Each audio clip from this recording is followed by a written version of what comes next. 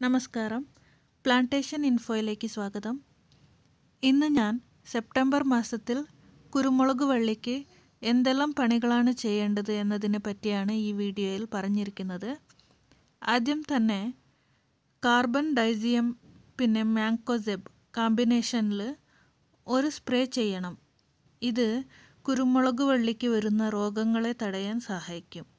അതുപോലെ വളരെ നല്ല വിളവാണ് ഉള്ളതെങ്കിൽ ഈ സ്പ്രേ ചെയ്യുമ്പോൾ ഇതിന്റെ കൂടെ ന്യൂട്രിയന്റ് ചേർത്ത് സ്പ്രേ ചെയ്യാം. ക്രാപ്പ് പാറ്റേൺ നോക്കിയിട്ട് ന്യൂട്രിയന്റ് ചേർത്ത് കൊടുത്താൽ മതി. വിളവ് കുറവാണെങ്കിൽ ജസ്റ്റ് കാർബൺ ഡൈസിയം പിന്നെ മാങ്കോസെബ് സ്പ്രേ ചെയ്താൽ മതി.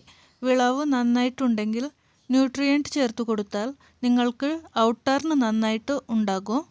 അതുപോലെ തന്നെ സെപ്റ്റംബർ മാസത്തിൽ പൊട്ടാഷ്യം പാസ്പോനേറ്റ് ഒഴിച്ചു കൊടുക്കണം.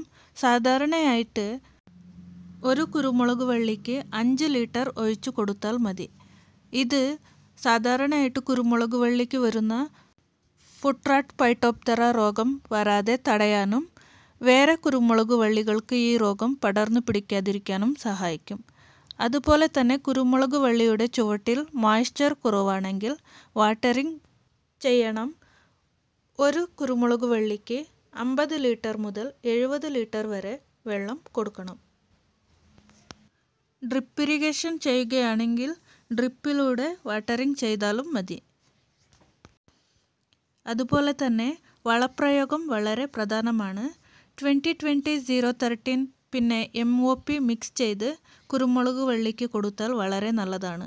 ട്വന്റി ട്വന്റി സീറോ തേർട്ടീൻ ഇരുന്നൂറ് ഗ്രാം എം ഒ പി നൂറ്റമ്പത് ഗ്രാം മിക്സ് ചെയ്ത് കുരുമുളക് വള്ളിക്ക് ഇട്ട് കൊടുത്താൽ മതി. ഇതുപോലെ സെപ്റ്റംബർ മാസത്തിൽ എല്ലാ പരിചരണങ്ങളും കുരുമുളക് വള്ളിക്ക് ചെയ്താൽ നല്ല വിളവ് തന്നെ നിങ്ങൾക്ക് ലഭിക്കും. ഈ വീഡിയോ ഇഷ്ടമാവുകയാണെങ്കിൽ പ്ലീസ് സബ്സ്ക്രൈബ് ചെയ്ത് സപ്പോർട്ട് ചെയ്യണം. വീഡിയോ ലൈക്ക് ചെയ്യാനും ഷെയർ ചെയ്യാനും കമന്റ് ചെയ്യാനും മറക്കരുത്.